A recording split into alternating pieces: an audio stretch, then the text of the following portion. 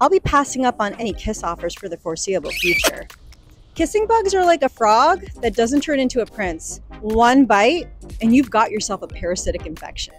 I'm Miriam Fauzia. I'm a science reporter at the Dallas Morning News, and the infection I'm talking about is Chagas disease. Chagas disease is affecting 7 million people worldwide, and it's taking over TikTok. Reports say it has reached endemic levels in the United States. But what about North Texas? Chagas cases are found here in Texas, but infections caught locally tend to appear in South Central and South Texas. Here's a look at how it spreads.